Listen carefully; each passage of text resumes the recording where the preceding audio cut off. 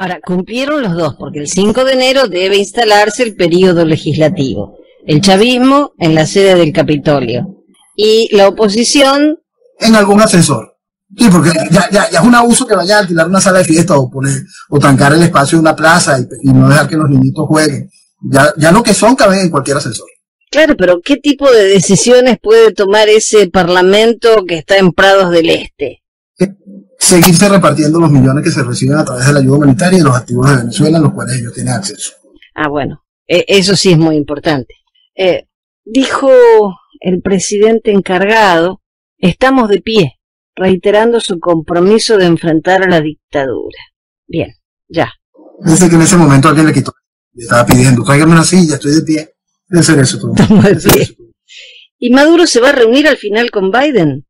Si tiene la oportunidad, no lo ponga en duda. No lo ponga en duda, no lo ponga en duda. Si Biden se lo permite, por supuesto. Si, mira, ni lo busca con desespero, este, y en algún momento se pudiese pensar que los Estados Unidos tuviese que buscarlo, por ridículo que parezca, porque es un Estados Unidos en manos, en, manos de Biden, en manos de esta estructura demócrata, lo que se busca es el fortalecimiento de lo que está mal. Entonces, no, no hay ni apuro, pero en ningún momento hay rechazo. Eh, los asambleístas ecuatorianos le van a entregar a Duque un informe sobre el caso Saab.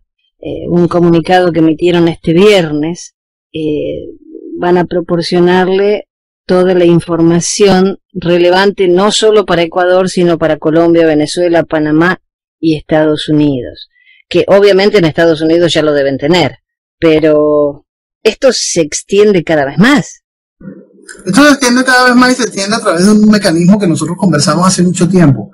Nosotros hablamos de el Sucre en los tiempos en que, se, que hablábamos del robo de Odebrecht y explicamos en aquel momento cómo en el caso específico de Venezuela y Ecuador, este, por supuesto todos los países del ALBA, cada uno de este tipo de cosas se vieron involucrados, pero en el caso de Venezuela y Ecuador sí hubo un gran movimiento económico. Entonces vamos a ir viendo en lo que va a ir generando Ecuador y el proceso de investigación legislativa a todo este, a, esta, a toda esta inmensa estafa, cómo el Sucre fue pieza principal dentro de toda esta estructura de lavado y negociación. Este, es algo que, que, para, por eso que la gente, estos amantes de Chávez, Chávez es una cosa y Maduro es otra, eh, todo el Sucre, cada una de estas cosas le hicieron Chávez y Correa. La revolución, que es una sola, en, el, en su ejercicio también político, a través de Maduro y SAP, logran y ya con el resto del equipo de Correa, Correa en, el gobierno siguiente, logra hacer las negociaciones que dieron la posibilidad a un increíble lavado de dinero que, que asustará los montos, ¿no? Y a involucrar una serie de países y una serie de mecanismos que eran necesarios para que se lavara esa inmensa cantidad de dinero. Estaba viendo también que Podemos le suplica al juez que no cite a Hugo Carvajal en la investigación de Neurona. Y a su vez la justicia española critica la táctica de Carvajal para evitar su extradición a Estados Unidos. Pero lo de, lo de Podemos está bastante cierto que algo raro tiene que haber porque si no no estarían tan desesperados para que la justicia no cite a Carvajal a declarar. Sí, lo raro es claro porque es el proceso de cualquier país ¿qué haces tú para que, cómo, cómo evitas tú de manera formal la intervención extranjera en tu esquema político, impidiendo el financiamiento de los partidos políticos por parte de emisiones extranjeras? Entonces, Neurona y toda la estructura previa a Podemos es lo que hace posible la construcción del Partido Unidas Podemos. ¿Cómo se crea ese partido? Con dinero venezolano, con dinero iraní que financiaba a una organización como Neurona. Entonces, mucho de eso, las pruebas que, que, ni siquiera se necesita que, el pueblo muestre, porque son más que claras y se han discutido desde el inicio de todo, de toda esta payasada, este, están allí. El, pollo no se mostrará recibo firmado, pero todo eso es algo que es altamente conocido por la sociedad tanto venezolana como española. Mentirse ante esa realidad es eso, querer mentirse y haber negado una cosa que se sabía desde el proceso constituyente venezolano en 1999. Pero a pesar de todo y de que la, eh, la audiencia española critica la, la maniobra de solicitar asilo para no ser extraditado, todavía sigue en España. O sea que algo de efectividad debe tener la maniobra que está haciendo Carvajal. Muchísima, y como hemos dicho, repito, todavía no ha destapado bien por, la falta de, juego político y, la falta de juego político no lo, lo, ha mantenido lo, lo, ha mantenido sin el filo de la navaja y no ha podido conseguir la, la tranquilidad con la que sueña, quizá ya está pactada.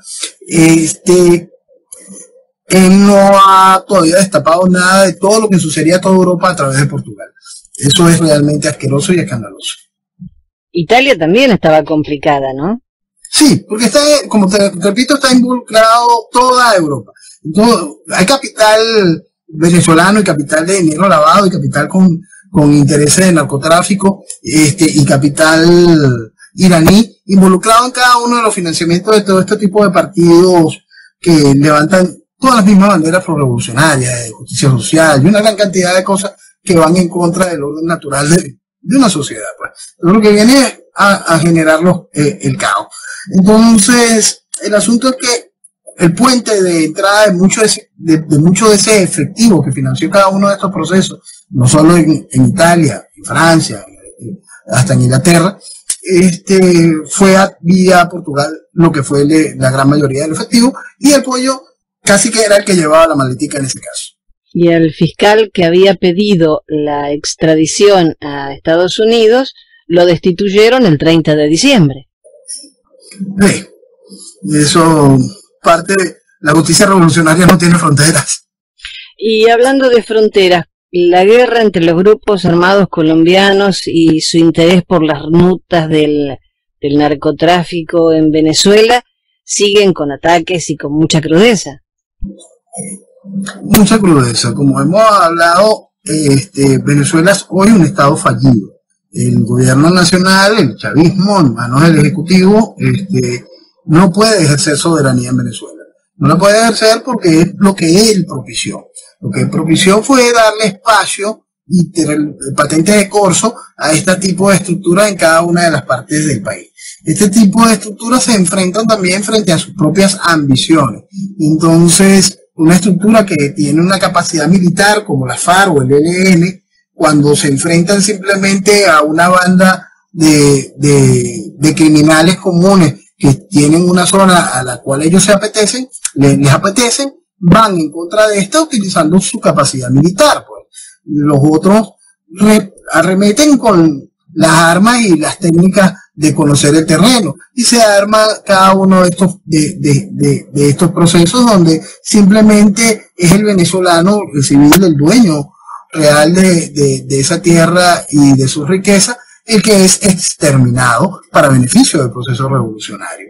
Ellos no tienen ningún problema en matar y matar y matar venezolanos sin ningún tipo de, de, de discriminación, simplemente que se atraviese puede llevar una bala en pro de la consecución de sus ambiciones, por cualquiera de los lados, todo lo que el chavismo propició.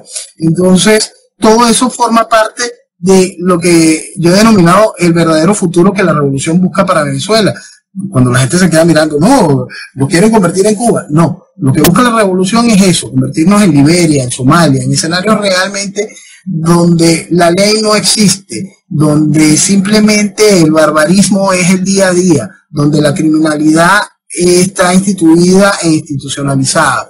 Eso es lo que busca el proceso revolucionario en su accionar, mientras va generando una isla de la fantasía en las dos, tres, cuatro principales ciudades del país, donde la gente puede ver luces en los arbolitos, negocios llenos y hasta dinero corriendo por la calle.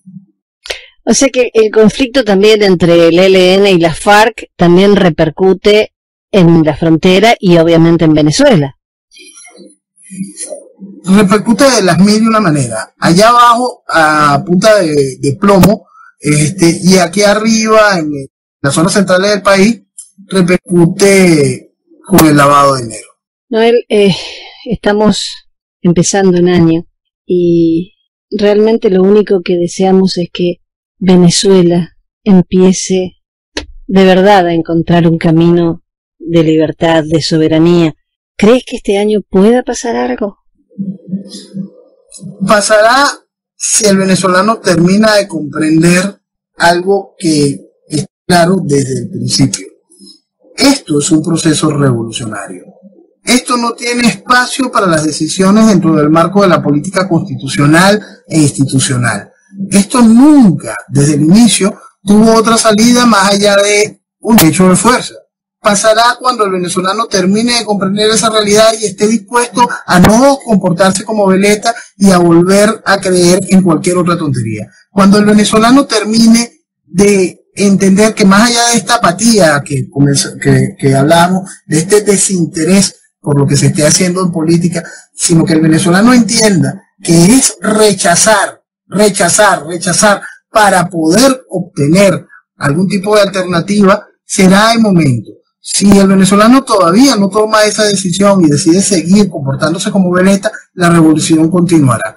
La decisión del pronto cambio o de ningún cambio o el cambio a largo plazo no es la generación de una estructura partidista que busque la legitimación de espacio. No tiene nada que ver eso con la realidad cuando se encuentra en un proceso revolucionario. Los procesos revolucionarios, los procesos de las tiranías, cuando se instituyen, pasan a, hechos que, que, tienen que ser de manera fáctica sus soluciones. La realidad humana la hemos especificado más de una vez y hay que entender ahorita todo el proceso que se está viviendo, que se está viviendo en Kazajistán, que es realmente complicado y la cantidad de influencias que, están en ese país para poder entender por ridículo que parezca, la cantidad de influencias que se generan en un territorio como el nuestro.